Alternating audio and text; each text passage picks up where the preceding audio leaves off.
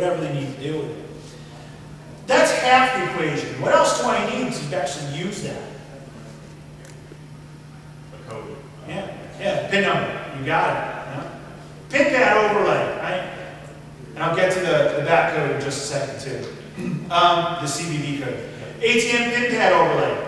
Uh, device actually overlays particular models and you'll, it'll type through, so you'll type onto it and it'll actually hit the numbers for you, but it also has an, uh, a, a, memory card in it.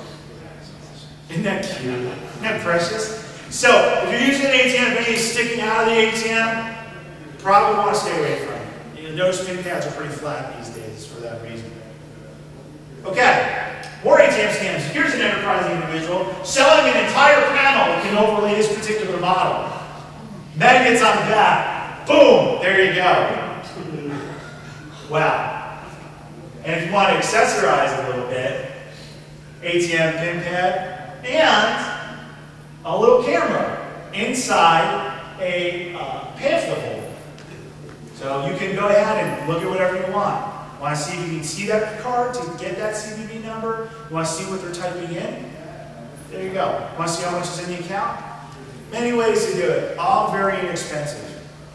Except for that, that panel, that's got a little bit. Look at that. Right. This is dark market. Once you get that information, in this particular case, uh, we, we went ahead and did an ATM scam, right? Once you get that particular information, we need to sell it somewhere. So now we've got our invite. We're pretty well known. We go into a website. This, this, was, this is dark market, as I said before. This is a form where you can go ahead and, and trade information, sell information, so forth and so on. So, uh, this particular incident says, hey, I require a bot and installs my executable. This particular individual writes code, and they want to go ahead and rent out a bot. They need about 4,000 bots per week. Message me if you're interested. And they'll use something like eGold. Uh, eGold is PayPal without any questions asked. It's best way to get started. So, lots of different escrow services out there that can employ. More ads. DDoS attacks for sale. What's one thing you can do in the black market world that you can't do in the legitimate business world if the competition's kicking your butt? In the black market world, you can take them out. So that's what you do. You get a DDoS attacker, or uh, somebody that runs DDoS attacks. Distributed denial service. I can get enough computers to send enough junk to one IP address, I can choke that machine and knock them out.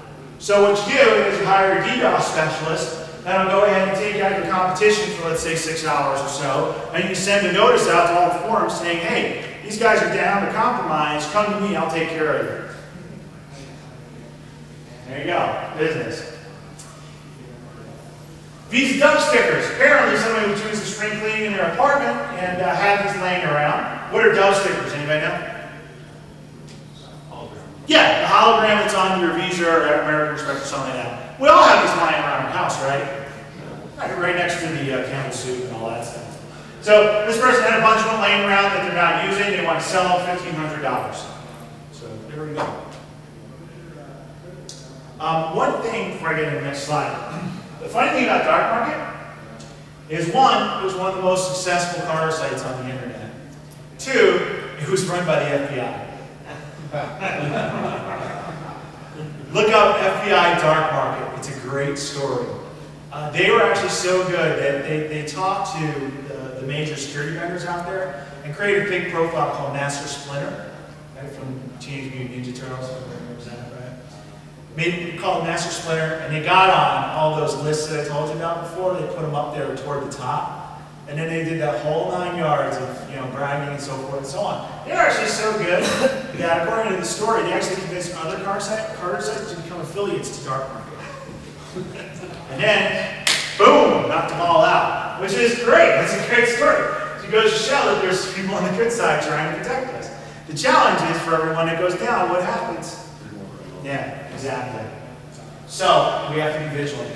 Another site example, Carder Planet, not around anymore, it was around at the time it was, uh, was put together. Um, this one's selling called dumps, right? So the credit card information on the magnetic strip. There's three strips on here actually you don't see. The first one is the IATA strip. That's for when you go take a flight somewhere and put it in, it says greetings Mr. and Mrs. Smith, here's your itinerary. Second one's the good one with all the stuff of uh, your financial information and whatnot. Third one, if you ever use a Starbucks gift card or something like that, that's the type of Stripe it uses, which is just a debit account with no account attached to it. So, in other words, they're called dumps, and the higher the metal, the more precious the metal, the more money you can make, right? There's different quality uh, here, there, and so forth and so on. You can actually buy services to verify that the information you captured is open and legitimate. So, you have throwing pennies real hard. And if you want to keep up on the latest news, cardnews.ru. So they have their own uh, uh, news group or news site.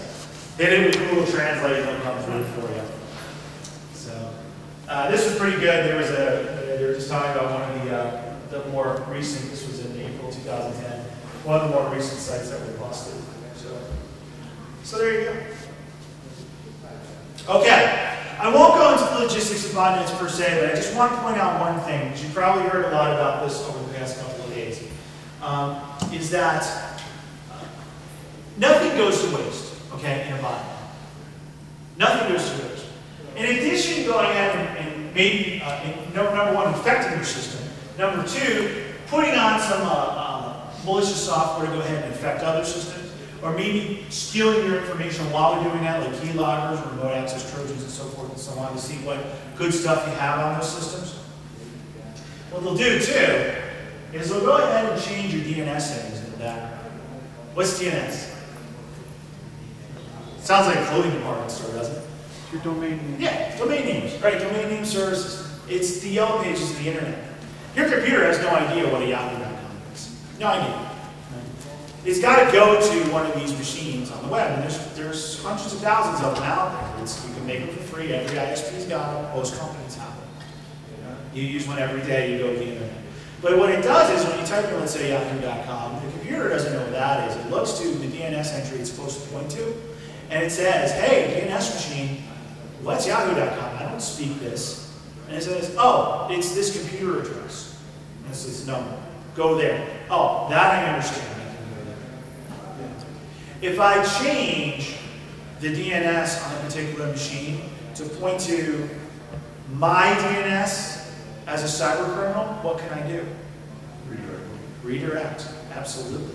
And if you surf along to your normal sites, but once you hit something like bankofamerica.com or what have you as an example, you're not going to go to bankofamerica.com. You're going to go to my version of that. And it may look a lot like the front page of, let's say, Bank of America, just using it as an example. Right? But what it's going to do is when you put in your username and password, it'll time out and say there's an error. Most people will think, oh, I'll come back later. What just happened? Yeah, you got owned. Yeah. And for those pay those those uh, there's a lot of different technologies to help thwart that. There's actually um, malware that's out there right now that will track the mouse position on your screen and map it to a particular financial site. So you ever see those virtual keypads that you use to type in? It'll actually track the mouse positions and replay it for you on that site. Good times, right? Not a boring moment. Okay. That being said, uh, we're, we're getting toward the end here. I apologize. I'm not checking my email. My, uh, my, uh, my watch is on a flight to Milwaukee, I think, right now. So I'm using my BlackBerry to stay on time. Okay. Uh, information gathering methodology for footprinting a target. There's a lot of different methodologies out there you can use. Okay. This is just one that's that's a pretty general one that you can use, right? You're going to have your own methodologies and so forth and so on. The reason why I'm showing all of this to you today, if you haven't, you haven't thought about it by now, which I'm sure you have, is because you can use these same methodologies to protect yourselves. If you know how they're going to come after you, you can use that to thwart them, right? So take it to heart. Feel free to grab these, right? As I said earlier, I constantly update this. So give me your card at the end. I'll get you the latest updated version. Right? So, methodology, footprint. I want to find out as much about my target. If I'm going to go straight ahead and I'm not going to just run a scam, right? I'm going to go straight for it, right? I'm going to do all the techie stuff. And I'm going to go right in there and open a hole in that organization. I'm going to try and keep it silent too because now you're my ATM. If I get in and I see your database in there and there's good stuff, I want to keep that open. I want that information to keep flowing.